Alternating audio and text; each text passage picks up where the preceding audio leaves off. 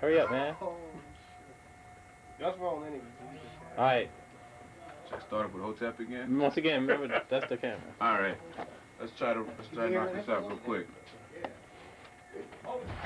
Coming down on three, two, one. Hotep and welcome to the flow. In our studios today. Shit. All right, do it again. Coming down on three, two, one. Hotep and welcome to the studios of the flow.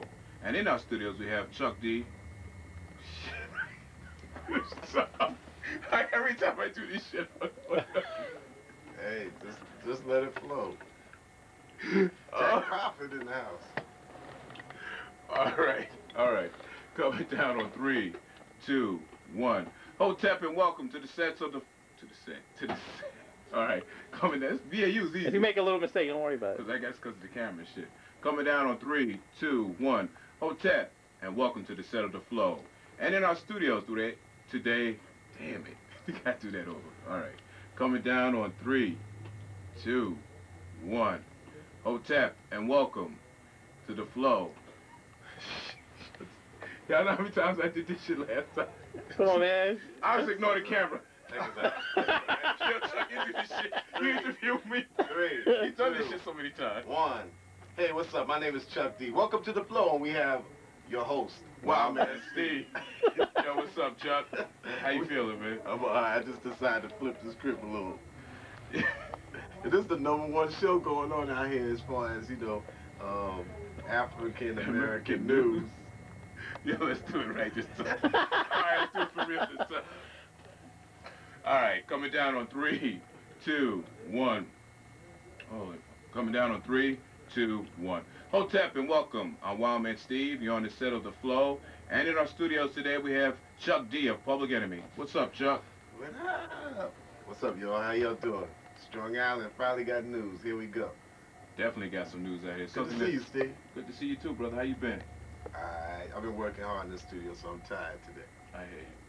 Know you be on the road and doing a lot of things. And Yeah, yeah. well, take far as taking care of business. You know. Yeah, well, you know, like this year's been a lounging year, but next year is back to work again. So you're saying Public Enemy's coming out another album next year? Next spring. Yeah. Cool. And um, it's it's really confrontation. You have a title for the album yet? Mm-hmm. Well, you're not gonna divulge it right now, though, right? Nah, it makes no sense. I hear you. You know, right now, enjoy what's coming out. You know, uh, you know, as we go back to WBAU days, you know, we just enjoy all mu- types of music that's out now. Mhm. Right now, I'm still vibing off the Youngsters album. Yeah, it's got a lot of flavor to it. Yeah. Definitely got a flavor. That's and, and, fact. and Got Shaquille. O'Neal's album too. Shaq. Yeah, I like Shaq Diesel. Shaq. Yeah, Shaq is definitely in there. Who are some of the other artists that you like as well? Well, I think Kane's album um, looks like a job for it. Got the strongest, best lyrics. Uh, lyrically, is the best thing I, I I've heard in, in about four or five years. You know, a lot of people, you know, probably won't. You know, they expect greater things for Kane, but they're just, you know, that's stupid because I think Kane is hands down the, the, the best lyricist in rap to ever live. Mm. Mhm. Brother definitely has flavor. He got the analogies, he has the words, he's strong, he's clear. And to me, you know, I mean, since I'm an older brother, that pretty much is the standard, you know. He's clear, he's strong, and he kicks it fast and he can kick it slow. Hmm. He can take a fast beat, he can take a slow beat. You know, today you have a lot of people that's they're on the 98 beats per minute, 102, but nobody's taking any chances going up 115 beats a minute or 120 beats a minute like I've heard Big Daddy Kane do. Mm. So that's why I give him props. And of course, Run DMC's album. And um, of course, you got the, the new groups, of course, that's kicking flavor all over the place. So, like I said, by the end of the year, I'll have a top 10 that'll make me very happy. Das EFX Freaking got me going right about now. Mm. Definitely You got know, flavor. Yeah. so- What about female artists as well? yeah, well, to me, it's, you know, Latifah and Lyte, hands down. I know you love Lyte. Latifah and Lyte, and Lyte, and um, you know the other ones got to come up a little bit. You know, I mean, I know LaShawn who used to be Almond Joy. Right. She's nice, you know, but um, still, I know Latifah straight up. You know, it's about being believable. Latifah being on so many tours with her. And she could go out and play ball and post her brother up, be like, yo, and post him up. So she actually can um, rap about what she mean, you know Mm. and um, and Lyte has always been strong because he's had a different type of voice. So I always thought that most females have the similar, same type of voice. Um, but Lyte and Latifah have been exceptions to the rule.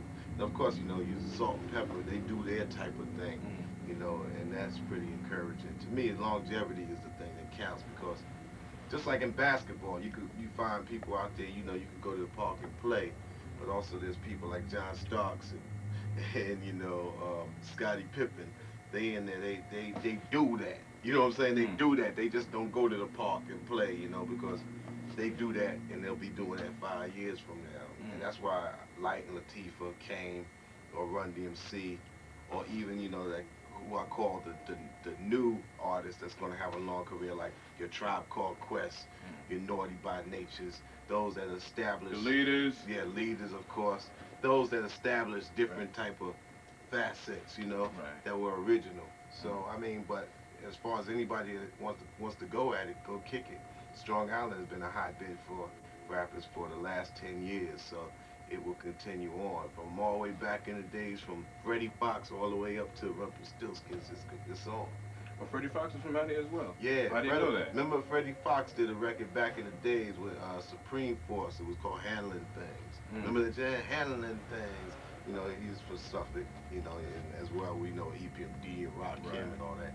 You know, so Wyandanch and Brentwood and that area, Amityville, has always had a lot of flavor going all the way back to um uh, what Pleasure. Remember? Ah, DJ Pleasure. now you're talking. Yeah, yeah, yeah. You know what I'm saying? Yes, Nelson PR. um, Nelson PR and stuff Mm. like that, you know, whereas us, you know, Spectrum was from Nassau. Now you're telling your you know. age now, Chuck. Yeah, well, I'm 33, and I'm proud to say my age, and I'm I still in the rap game, and, you know, I try to do, next year I'll do what no other 33-year-old has ever done in rap music. So a lot of people be like, whoa, whoa, you know, what do you, what do you plan to set sights on? I plan on saying some things that's never been said, that should be said, and I plan on doing some things that nobody my age has ever done, with the exception of Ice-T, who got a couple of years on me. So um, that's what makes it fun for me, because I tell people uh, when you get my age, then we'll see if you still be in there and that. And I've been doing it since what, 19? That's a long time, though. Not too many people can say they've done it that long. Well, I've done every phase, every facet, you know, from working on BAUs, doing the advertising, doing our own show, um, engineering, um, you know, situations like in TV programming on UHF back in the day with Bill Stephney, you know, doing pro- producing, um, writing, writing articles, all the kinds of stuff, you know. And, um, you know, Dre, you know, all us guys come from the same camp. So, um, I've done it all. There was a lot of talent that came out of that era there. All came out of BAU. hmm And you know, I think today's talent just needs to be more diversified. I mean, like the brothers up here with the TV station uh, are going into a whole new, a whole new um, type of talent search, a talent type of thing. And I think something like this is similar to what we did back with radio back in the day. I mean, we got Terminator X on the, one of the cameras, but you know, I don't know if that boy is serious about that or not. nah, he's serious. He's ser- he's serious about whatever he does. You know, that old Rockwilder. You. What, what are some of the plans besides coming with the album uh, for PE '94? Some of the other things you got planned for? PE.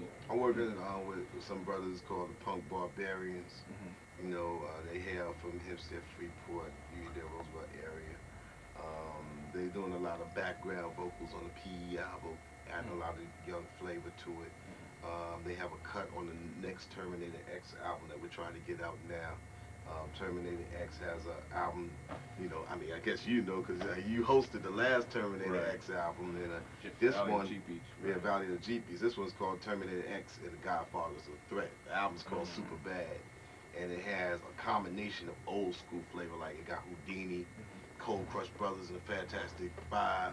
Um, and it also got new school flavor on it. You know, it's like got this brother from Roosevelt named Mel Kwan. Mhm. And, you know, got the punk barbarians, you know, Bonnie Clyde from Dayton, you know, Right. re-enter and do do something. So with that old school, new school type of combination, we figure, you know, we'll put together a nice sort of um, rap radio show on record or on tape. Try to make it different. Whatever I try to do, I try to be different You know, it's like you could love it or hate it because I believe love and hate is the same emotion. Mm. I try not to have people have a reaction of, oh, I could do, well, I don't know, it hit me like 70 degree weather, mm. which is like, you know, when you hear, when you feel 70 degree weather, you don't have no comment. It's not too hot and not too cold. I try to either be too hot or too cold. Either you love it or hate it, because usually when you hate it so much, you end up loving it. And if you love it a whole lot, you probably end up hating it or getting tired of it. So I try to be either or. And Terminator X is combination of old school, new new school flavor. I think is an experiment um, in hip hop. I think hip hop is a thing that we should still be able to be um, innovative and continue to experiment with. The whole album is being narrated this time by Kool Herc. Oh, really? Yeah. So, Oh, that's flavor. yeah. Ooh. So I mean, it, you know, I had some problems with with um, Rush, Def Jam, and Mhm. because you know, you know, to them, if they can't, if they ain't got 19 groups that's that shoot 'em up, bang bang. Now, now they on that shoot 'em up, bang bang, uh, gangster tip. Now, and I'm like saying, you know, what I offer something that might not be that shoot 'em up, bang bang tip. You guys looking for a million units to be sold.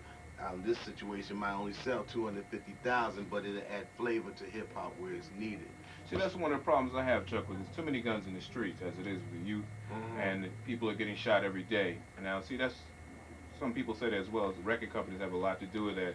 They're saying that artists should come out, you know, having guns and so forth, and have this, and that kids see this, and they say, well, they can do it on TV. Why can't I do it? Well, a lot of people would probably say, well, they're a public enemy, but you know, public enemy has been nationalists and revolutionaries. so that's been our image. It's discipline. I mean, when you see the police, they have guns too, but they just don't be throwing them up in the air, pop popping like they just don't care. Right. You know what I'm saying? The same thing, you know, um, I tell brothers all the time, if you do have one, learn how to shoot one and know who to shoot. Just don't, you know, if you have one, um, you know that here in New York is a serious offense and you will definitely be headed to jail. And I know brings me up, brings probably you up to the next question, like what up with Flavor Flav, you know, with his gun incident. Um, that's unfortunate, but Public Enemy has been about a group that's been in the middle of the hood. We still all for Roosevelt, and we stri- we try to combat, we try to battle some of the same ailments that affect us every day: self-hate, um, jail, the law, drugs, all these things. And um, it's unfortunate that it touched upon us, but it just shows that nobody is is void of this type of situation. Everybody, no matter what you, I've never touched a drug or drank in my life, but that does not stop my struggle and feeling the pain of those around me that do.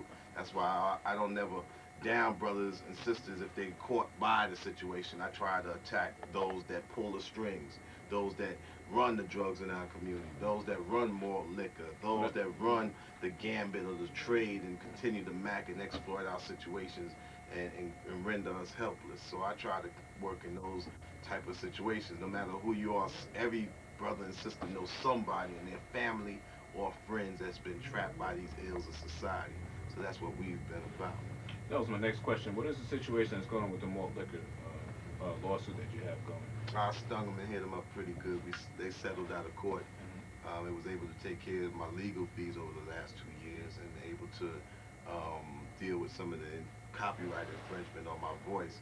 I wanted to try to take them all down, but I was told by my legals and I was told by the told, by the whole system that you can only sue for copyright on my voice. I couldn't like keep, you know, um, the, the malt liquor out of the stores. I wanted to take it from St. Ives on to all these other places, but I tried to do like a Rosa Parks with it. You know what I'm saying? Where boycott, yeah. yeah, try to shut it down that way. But you need a whole community and a whole force, and then legal fees are expensive. So I didn't lose. I didn't come out losing, but you know I came out um, and stung them a little bit. You know what I'm saying, and let them know that they can't play around and they better check their sources before they do what they think they want to do. Not only is Chuck a, a prolific artist as well as writer and so forth, he also is a entrepreneur having his rap style business. You want to talk a little bit rap style? Yeah, well, entrepreneur. I mean, it just means that I'm out there hustling. That's all. It's a clean hustle. I Mhm. try to, you know, I figured that rappers for years sold a lot of sports gear, including myself. When I first started my career, I was wearing stuff by the Raiders, Pirates hats, and people would go to Foot Locker and whatnot, pick up all these clothes, and it'd be Ice Cube or be LL. Somebody would pick up whatever the rappers would wear. Run DMC sold Adidas for years. So um, my whole thing was to do what Starter did to sports and try to get involved with um, music merchandising. And I created this company called Rap Style because the company I was working with, you know, tried to tell me what to do. So I was like, I cut them off, started my own, and made up a five-year program. And I figured with this five-year program, maybe in 1996 or 1997, I'll have something where it'll start looking like official music merchandisers or rappers. You know what I'm saying? You got to be, in order to get into that whole apparel field, no matter what angle you're coming in at, you got to really be solid and you got to really understand um, your market and you got to really set a long plan. You got to set a long-term plan. I started in 91 and at the end of my first plan it'll be 1996. So it's 1994 right now, you know, so, you know, it's another two years I think it'll be beginning to make a profit and that's what you look for a business to do. It has expenses. That means if we spend $10 and we make $20, that means it's a business that will run and pay its people. If it's if you're spending ten dollars for five years and you're making two dollars, that means it's time for you to dump it. Get rid of it, kid. It's over. Out of here. How many people do you employ with your organization? We got about like 40 people circulating around us in different things. There's Public Enemy, there's Ujama Music, there's Hank Shocklee, is you know, uh, you know, it's it's Black Beat music. It's it's you know everybody has it's you know Malik Entertainment, which is the S1's um, entertain um, management company that they're, they're moving into.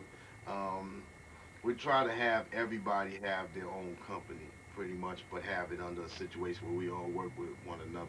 That's really know. positive. Yeah, really positive. it's, not only is it positive, it's necessary because if we don't do it, we can't talk about it. And number two, if we don't do it, we just got a whole bunch of people around us yelling for money. Yeah, I Where money comes from, money have to come from a different, a lot of different sources, and you have to be rooted in the community. You have to be kind of close to each other to be able to say, well, damn, we got a dollar from this situation, so this is what this dollar means. I mean, it's easy to, to, to scream and, and grasp for money, but it don't grow on trees. You have to earn it, you have to service people, and you have to be able to be able to give them what they want. And then this is not just in music, but this is just in a lot of different things, you know what I'm saying?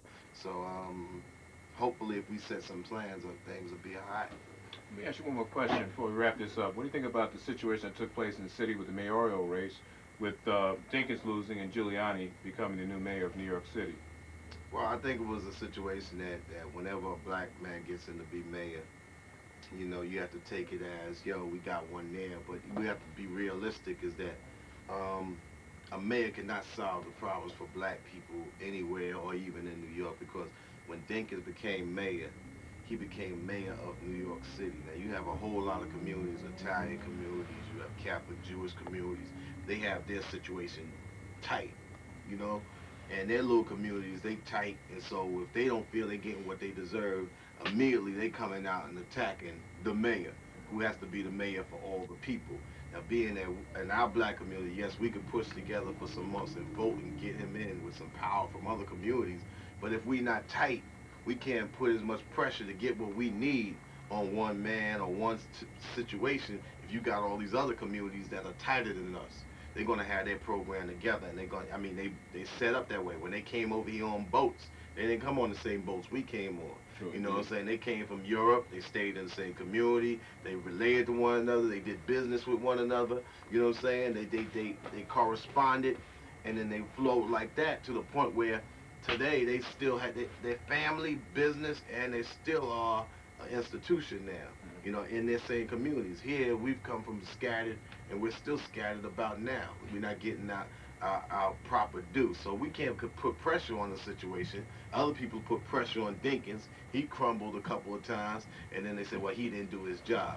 Well um, who's to say Giuliani will do a good job? Because this guy, you know, he, you know, he'll just turn his back to the black community, and we won't hold him accountable unless we're really damaged. So, you know, when it gets to that type of level, I try to tell black people, well, if you want to understand politics, at least run, know who's running the school board and whatnot, where your kids are going to and stuff like that on a local level.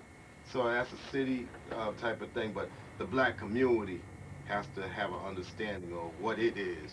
You know, it's it's a lot bigger than a, a Dinkins and, and being a black mayor, because black mayors, although they are in a lot of cities, they can be there as a symbol, but the real work is what counts. Is like making people are are there more black businesses flowing through, or more city monies or, or, or county monies coming through in the black community? Is a is it right um is it the right proportionate share coming through? You know, we have to have a community that checks up on those balances. Exactly. As Gary said, the community has to come together itself first before it does anything else. I mean, just like uh, I see uh, Mr. Jack Prophet out there, you know, is, you know, helping us here in Roosevelt. We're trying, you know, we tried trying all year long to try to get a community center built out here on Nassau Road, right between Roosevelt and Raymond. I remember uh, the time that there used to be a Roosevelt Youth Center here. Yeah, back in the days. Yes. But you know what happened is the population has like doubled, and what you have is you have a lot of mad kids like out on on Nassau Road with nothing to do, and they be like, "Yo, what's up?" So if there was a facility that was both entail recreation and cultural arts, and also community um, unity or, or connection up there where everybody could congregate, then um, you have a situation where young young people that have the energies and the talents, they could be like, oh yeah, yeah, I could do that because somebody I seen did it, and I could open up my own business. It'll be a blessing to see um, young people that got that energy. They want to go into business right now when they're 17 and 18, but they have to be taught. Some something got to be out there to teach them that, and um, that's what we're trying to strive for. At least in one square mile of Roosevelt, that's vastly overpopulated. So at least we should be able to have something that serves the population. That speaks. And uh, what do you think the future of hip hop is going to be? Oh well, let me tell you, the future of hip hop will always be here because I'm gonna get y'all some terms straight because a lot of people talking off the back of their neck. Hip hop is the culture, which means hip hop is just a term for whatever black people happen to create. We are very creative people. The term for uh, for what we create now is hip hop. Grandmama by Larry Johnson, that's hip hop. Same thing, Mingus was hip hop. You know, um, Bambaataa all the way up to you know juvenile uh, committee is, is hip hop. You know what I'm saying? I mean, hip hop is the is the culture. You know, Pumas is hip hop. You know what I'm saying? Uh, whack hairstyles is hip hop. Long big earrings, as well as what people are doing with certain musics. Now, rap music is a vocal over music, which means rap will never go away. rap will never go away.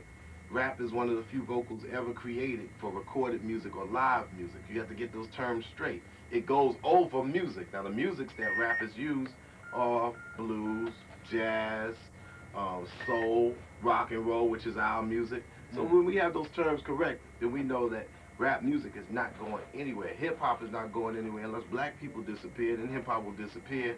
Rap music is not going anywhere because it's a vocal that happened, a vocal style that happened to get created. It's just stupid, stupid statement saying, well, won't rap music, when will it go away? That's like saying, well, when will they stop singing?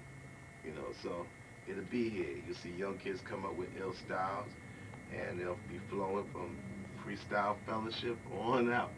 You know what I'm saying? All right, Chuck, I'd like to thank you for coming down to the studios today. That was easy, right? Very instead of the flow. Yo, yo, yo, check out the flow. It's the number one show. You gotta go for what you know. All right. There it is. Before we wrap it up, though, I'd like to say something to the brothers in Uniondale, the dark side and the north side. What you're doing is ill. You're both from the same town. You need to come together. I'm from Uniondale, and I, well, so-called, whatever side you want to call it, the darks, whatever it is. And uh, I never heard no nonsense like that. We have little rivalries and things, but y'all need to put that to rest. I'm going to say peace.